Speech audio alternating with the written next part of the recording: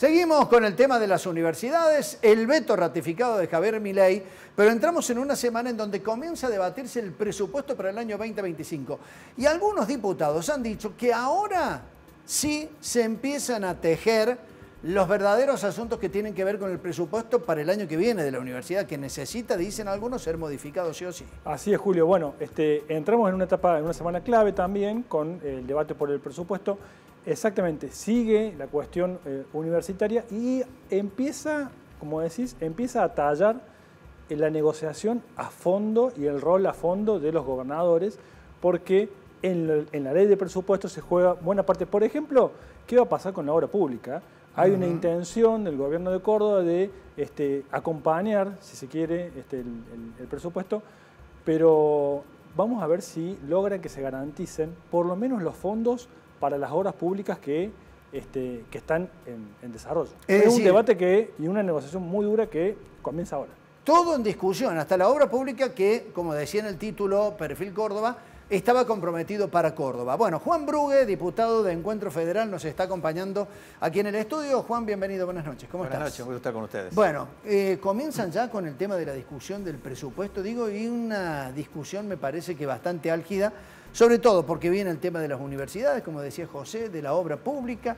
¿Hay alguna estrategia para esto? ¿Cómo es la pelea? Bueno, la idea, primero con el tema universitario, desde el bloque nuestro hemos solicitado formalmente que sea citada a la Comisión de Presupuesto, invitado, el Consejo Interuniversitario, para que vengan justamente sus autoridades a exponer y, bueno, poner eh, claro sobre oscuro en todas estas cuestiones de las auditorías sí, de las auditorías no, de los gastos de infraestructura, de los gastos de investigación, de extensión, los, los, sueldos de los docentes, o sea, todo, eh, eh, digamos, discutir con, en el ámbito que corresponde, ¿no? que son con todos los diputados en la Comisión de Presupuesto, y decir, bueno, que obviamente ya han adelantado todos los rectores de que eh, lo que está presupuestado prácticamente no llega ni el 50% de lo que se necesita para el año 2025, incluso algunos han aventurado de que no van a poder abrir algunas unidades académicas. ¿no?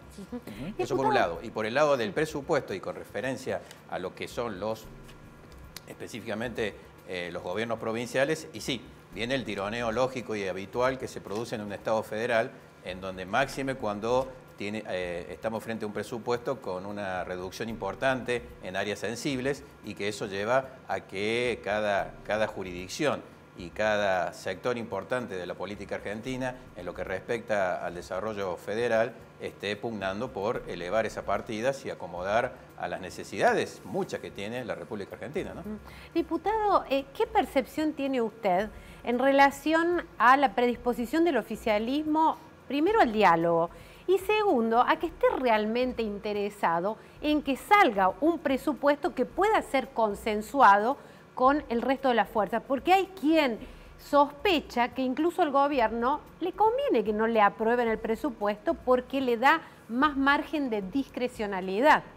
Bueno, nosotros venimos de la experiencia de la ley base y de la ley de medidas fiscales, en donde fue una experiencia no del todo buena, porque recuerden que fracasó la ley base en febrero eh, fruto quizá de una mala comunicación. En ese momento tenían un interlocutor, que es el actual jefe de gabinete de ministros, nada más ni nada menos, como es eh, Franco, y que en definitiva eh, se hablaba algo con él, se acordaba algo con él, y después se daba vuelta y se iba al círculo, el triángulo o el cuadrado rojo que tiene el presidente, y que en ese ámbito era no, ¿no es cierto? Entonces era como que había mucho desgaste parlamentario, mucho desgaste político, los gobernadores también tenían ese desgaste, y se encontraban con una situación difícil. Se imagina que estábamos hablando de la ley bases. hablar ahora del presupuesto, que creo que es mucho más gravoso que la ley base, porque en definitiva acá ahora vamos directamente a, como se dice en la calle, a los bifes, a, lo que realmente se va a contar en recursos para la proyección del año que viene, eh, tenemos esa duda. ¿Quiénes son los interlocutores base? Y sobre todo, eh, el ministro de Economía. O sea, ¿cómo puede ser que en, ninguna parte del mundo el ministro de Economía se, aleja de ir a dar explicaciones? Supuestamente lo ha armado él, lo ha hecho él en conjunción con el presidente. Por eso cuando a mí me preguntaron qué, opinaba que el presidente fuera a presentar al, Congreso el presupuesto, lo primero que dije, quiere cuidar su ministro, porque si no, el que tiene que ir es el ministro de Economía. Y pasó. Vieron que el ministro de Economía dijo que no quiere ir, vamos a ver ahora porque tiene una, una citación para que vaya a la, comisión. Tampoco presentó el presupuesto, diputado. Ni tampoco presentó el presupuesto, que es lo que corresponde. O sea, tampoco presentaron la ley base, a ver, seamos sinceros.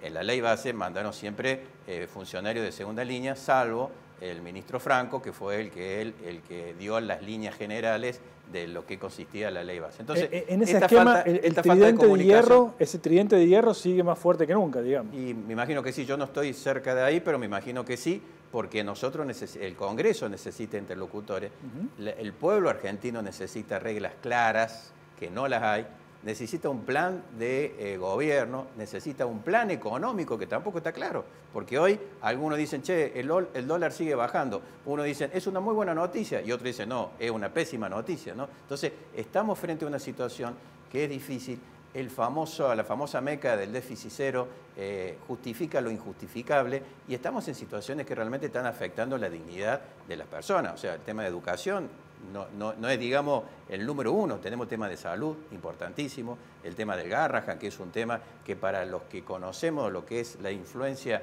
de ese hospital a nivel eh, latinoamericano eh, que, se, que se esté poniendo en cuestión. Y bueno, y los compromisos de los gobiernos provinciales que cada día la realidad le golpea fuerte con menos recursos y que ahora la manta corta, como le llamo yo, se va a tapar el pecho y va a destapar los pies. ¿Qué espera Córdoba? Bueno, eh, nosotros como siempre hemos hecho, vamos a discutir todas aquellas partidas presupuestarias que impactan sobre la provincia, vamos a, estamos en consonancia por supuesto con el gobernador, el tema de la obra pública es fundamental. No se olviden de que nosotros tenemos una provincia que es demandante en obra pública y que la obra pública cumple un, un, rol importantísimo en la descentralización de, lo que es no solamente la función del gobierno, sino en el, sistema productivo. Nosotros tenemos una provincia productiva y la infraestructura y las obras públicas son necesarias para que el aparato productivo pueda avanzar, pueda sacarse y pueda llevarse a, los mercados que, demandan. Entonces, Todas esas cuestiones son eh, necesarias, la cuestión energética también para nosotros es mm. fundamental, y el tema del transporte, ¿no? Esto de la, de la nueva propuesta de la liberalización o de regulación del transporte público, que a mí me parece como que es como mucho, digamos, en un esquema en donde tenemos el octavo territorio más grande del mundo, en donde el transporte es fundamental. Recuerden en el gobierno de Macri que Macri apostó por los aviones, ¿no? Entonces, y bueno, eh, mejoró los aeropuertos, eso hay que decirlo, nuestros aeropuertos se equiparon eh, a, una altura importante, abrió nuevas líneas de, rutas aéreas que permitió conectar mejor el país. Bueno, ¿cuál es el plan que tiene el, gobierno nacional en esta materia? No lo tiene, es liberalizar y dejar que el sector privado haga lo que sea. Es como que están queriendo aplicar la frase lo público es malo, lo privado es bueno, y esa frase como tal no es lógica, porque hay cosas públicas que son buenas y cosas privadas que son malas. Eh, diputado, yendo al, estilo de trabajo y de debate del oficialismo, que se mueve mucho con Beto y, DNU, hay una serie de proyectos para limitar justamente los decretos de necesidad y urgencia y ponerlos en otro plano, para que trabaje el Congreso, básicamente. Eh, ¿Qué están viendo y qué expectativas les genera esto de poder limitar los DNU? Bueno, eh, em, después del, decreto, este, del, digamos, de la sesión que tuvimos en donde fue convalidado el decreto sobre el tema del financiamiento universitario, en esa misma sesión se tomaron dos decisiones importantes. Primero, eh, em, emplazar al, al, ministro para que vaya a la Comisión de Presupuestos y segundo, emplazar a la Comisión de Asuntos Constitucionales para que trate todos los proyectos de modificación de la ley 26.122, que es la ley justamente que regula lo que es el procedimiento de la Comisión Bicameral para los DNU y los decretos de delegación. Eh, yo personalmente, en el día de la fecha, con cuatro constitucionalistas que, aportan, yo soy constitucionalista, pero bueno, busqué a constitucionalistas amigos, hemos presentado también otro proyecto de ley para ser tenido en consideración y en tres sesiones, en, perdón, en tres reuniones de comisión, o sea, en tres semanas subsiguientes, tiene que haber despacho. O sea, que tiene que haber un dictamen de modificación, en donde vamos por la validez temporal de los decretos de necesidad de urgencia. Tienen que tener caducidad. Brasil lo tiene, 60 días como máximo. Eh, Europa lo tiene. Tiene que también verse la validez de esos decretos de necesidad de urgencia. Por lo tanto, los derechos adquiridos son relativos. Y además también tiene que verse que la comisión bicameral en el momento que determine la invalide se suspenda la vigencia del DNU hasta que el Congreso lo resuelva y que sean ambas cámaras las que ratifiquen y no como actualmente que con una que lo rechace ya el tema quedó resuelto. No, no. Entonces, ¿eso por qué?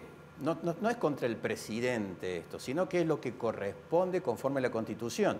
Quien eh, propuso el proyecto de ley en el 2006 se apartó del criterio de la Constitución. Por lo tanto, esa ley, para muchos constitucionalistas, adolece de inconstitucionalidad, que es lo que queremos mejorar nosotros. Para repasar los tiempos, la expectativa es dictamen este mes y, a lo mejor media sanción para fin de año. Así es, la idea es avanzar en el, proyecto. Hay muchos proyectos presentados. Hay 11, 15, sí, fácil 15 hay, más el mío que ahora se incorporan, debe ser 16, en donde muchos coinciden en la línea que yo le mencioné recién. Diputado, ¿qué va a pasar con eh, la diputada Torres después de su ausencia en la sesión donde se trató la ley de financiamiento educativo y el veto del presidente? Va a seguir continuando en sus funciones, es diputada como yo. ¿Hizo ruido en el bloque? No, e, ella presentó certificados médicos que se encontraba enferma y con una enfermedad de las características del COVID, que bueno, que tiene sus criterios de aislamiento. Pero para nosotros, no, no, eh, fue una una lamentable ausencia, pero no, no digamos voluntaria, entendemos nosotros, sino forzada por, por las circunstancias de, salud. Pero mm. más de eso, yo no le daría más connotación que eso. Bueno, hubo otro diputado que también estuvo mal y que se murió, que es eh, eh, el diputado sí, que, lamentablemente tampoco pudo ir por su ya cuadro de hace muchos años de problema de, cáncer, que terminó falleciendo. O sea, que varios tenían problemas de salud que se ausentaron. Habría que preguntarle a aquellos que no tenían problemas de salud que se ausentaron, ¿no? Eso sí. Brugue, respecto al tema de las universidades, comienzan a discutir ahora el presupuesto. ¿Qué puede llegar a pasar con eso?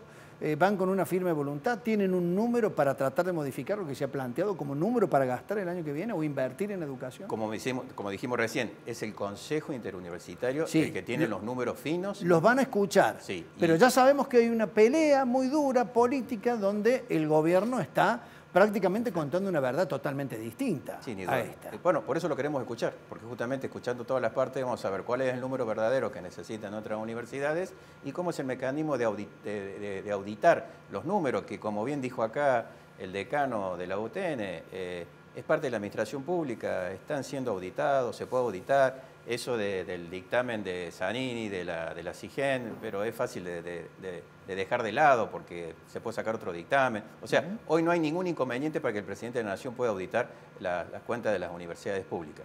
Y algo importante, no es para rico.